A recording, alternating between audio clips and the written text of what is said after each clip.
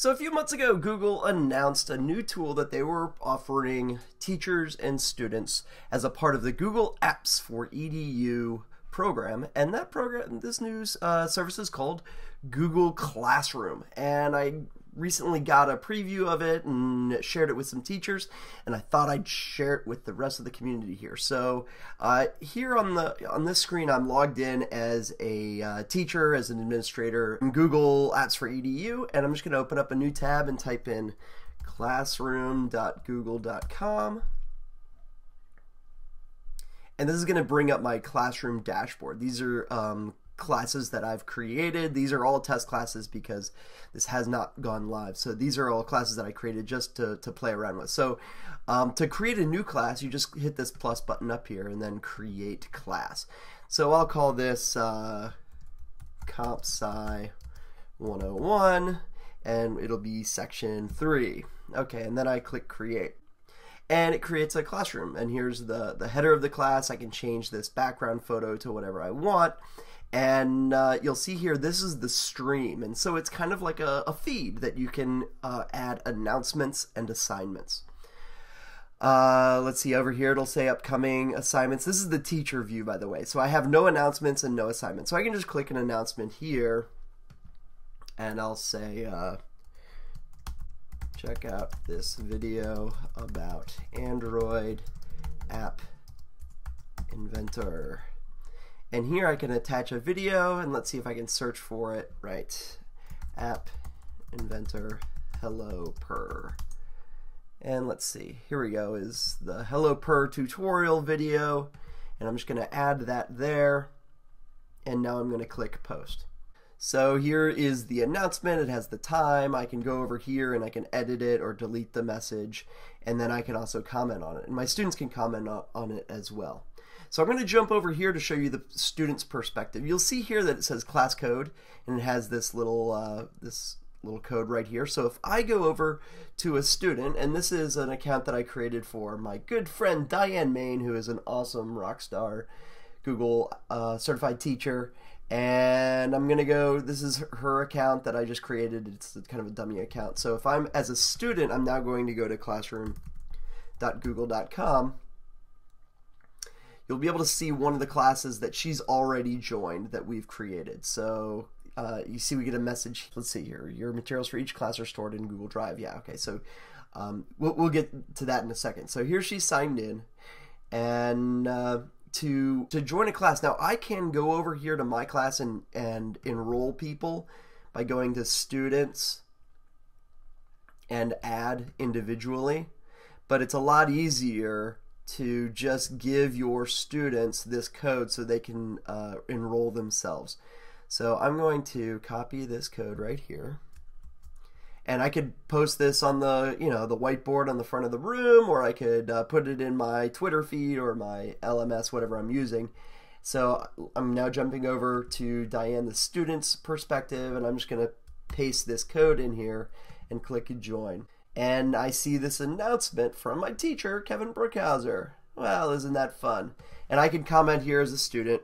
I'll already made my first app. Woo! And I can post here. Now I'm going to jump over to um, the stream.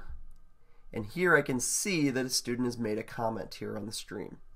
So that's pretty cool. This is great for just getting announcements across. And now I can see that if I go to students, I see that Diane Main has enrolled. I can message Diane Main right here.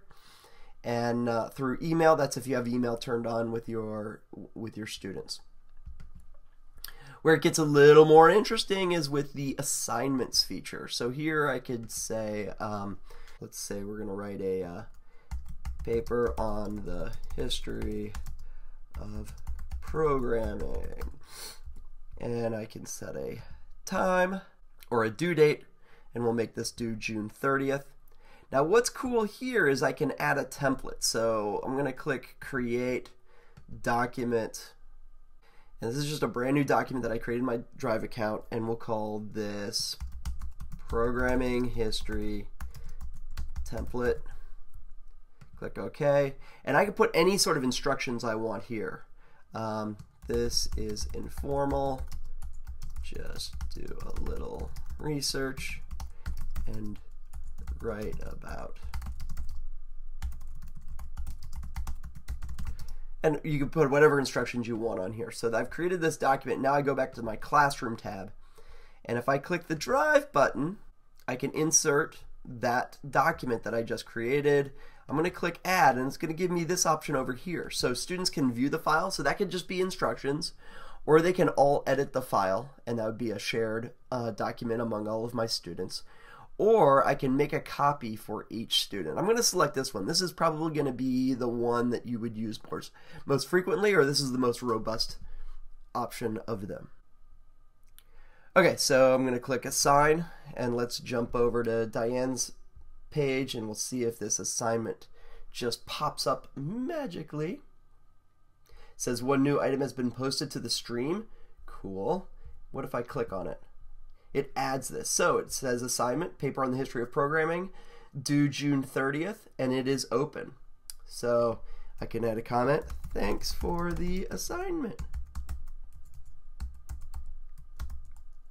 Mr. Brookhouser.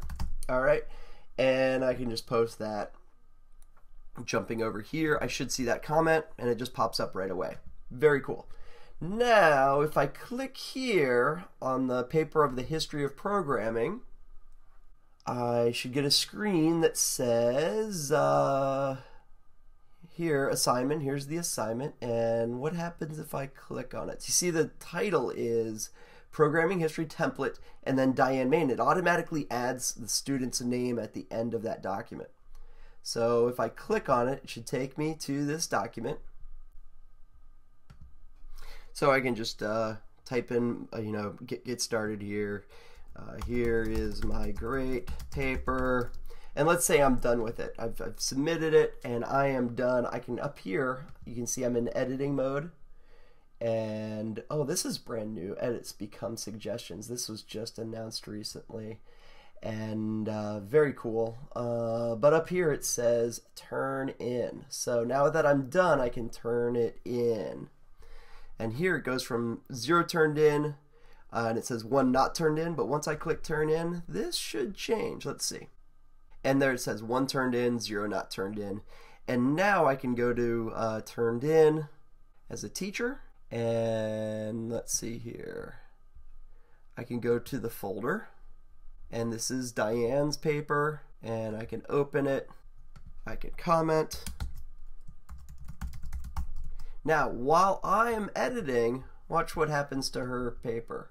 She no longer has access to edit. She can only um, she can only see it.